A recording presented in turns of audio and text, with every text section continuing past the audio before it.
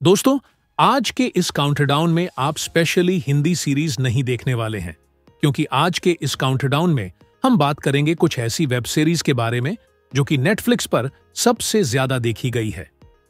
तो चलिए शुरू करते हैं आज का हमारा काउंटडाउन नंबर सात पर है कैट दोस्तों यह सीरीज़ बहुत ही ज़्यादा यूनिक है।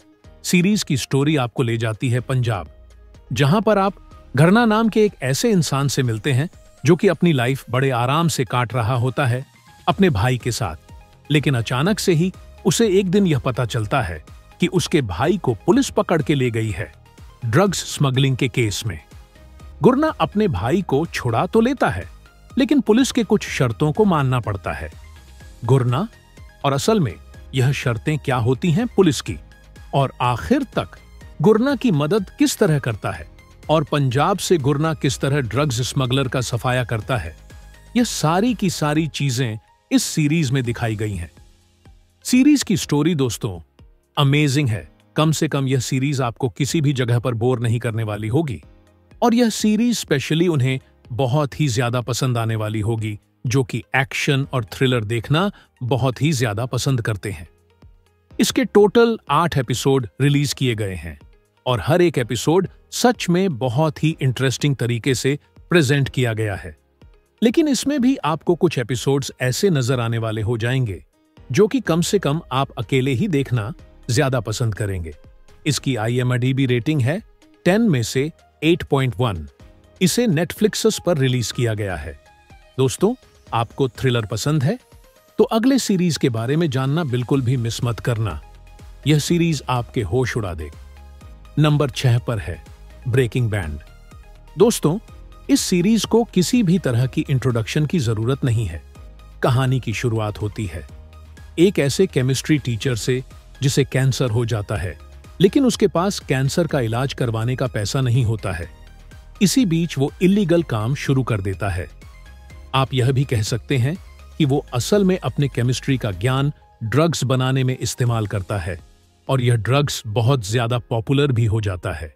और आखिर तक यह केमिस्ट्री का प्रोफेसर कितने सारे हंगामे करता है इस ड्रग को लेकर, यह तो आपको इस सीरीज़ को देखने के बाद ही पता चलने वाला है।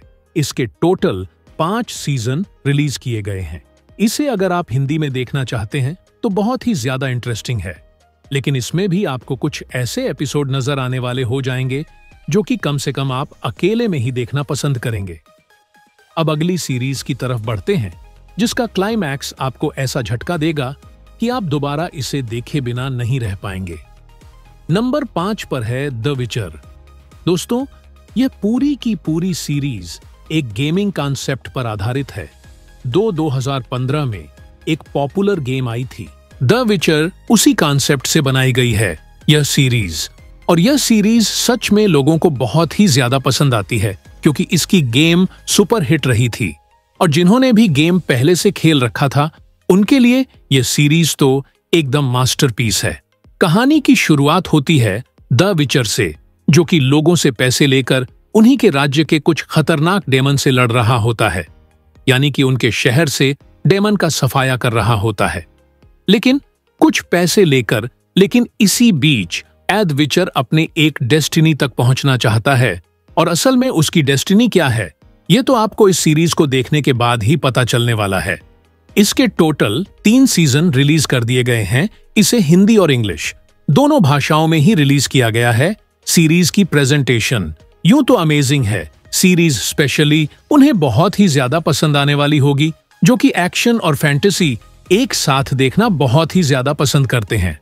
लेकिन दोस्तों, इसमें मेन भी आपको कुछ ऐसे दृश्य नज़र आने वाले हो जाएँगे जो कि कम से कम आप अकेले में ही देखना ज़्यादा पसंद करेंगे। इसकी आई रेटिंग है दन में से आठ। इसे प्रॉब्लम दोस्तों, इसकी जैसी सीरीज़ शायद आपने पहले कभी ना देखी हो। कहानी की शुरुआत होती है फ्यूचर से, जहाँ पर एक गेम की वजह से प्रेजेंट में बहुत सारी जाने जा रही होती हैं। लेकिन असल में इस गेम को किसने डेवलप किया और इस गेम के पीछे असल में क्या रहस्य छिपा हुआ है? यह जानने के लिए आप इस सीरीज़ को एक बार ज़रूर देखिए।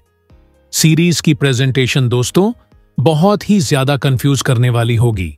आपको सीरीज़ के जितने एपिसोड्स आप देखते चले जाएँगे, उतनी ही ज़्यादा यह सीरीज़ आपको इंटरेस्टिंग लगनी शुरू हो जाएगी। इसमें आपको बहुत सारे कैरेक्टर्स नज़र आने वाले होंगे।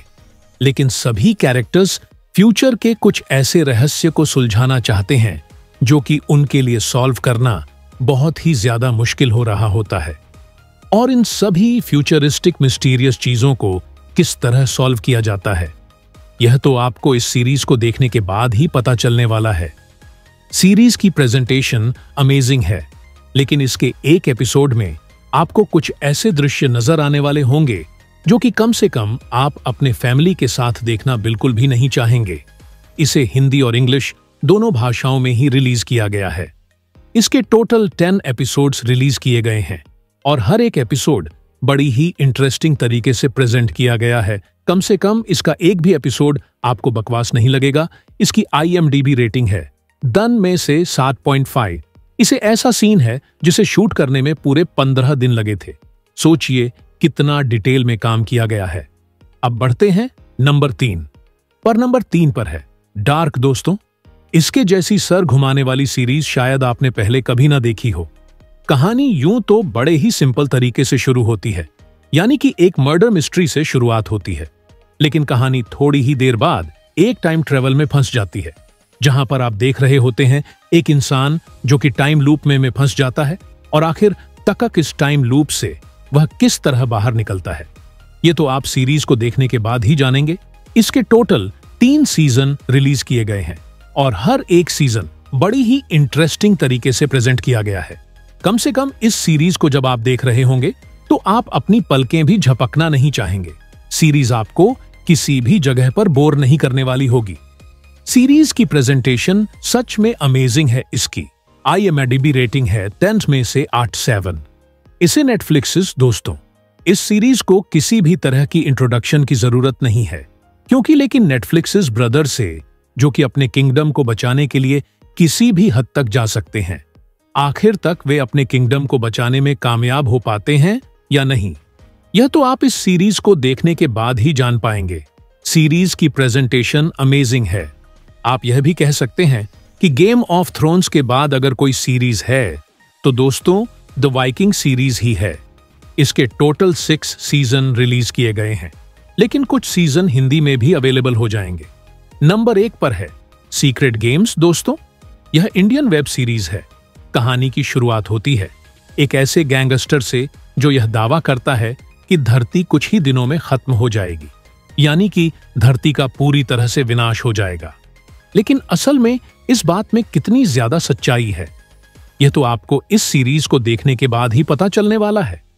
इस सीरीज़ को शायद ही किसी ने ना देखा हो। सीरीज़ की प्रेजेंटेशन से लेकर हर चीज़ परफेक्ट बनाई गई है। इवन सीरीज़ की स्टोरी भी आपको काफ़ी हद तक पसंद आने वाली होगी। सीरीज़ के सीज़न टू से ज़्यादा इंटरेस्टिंग सीज़न वन है दोस्तों। सीरीज़ के सीज़न टू में आपको बहुत सारी चीज़ें हो सकता है कि बड़ी अटपटी लगे। लेकिन यकीन मानिए सीरीज़ का सीज़न वन अमेजिंग है।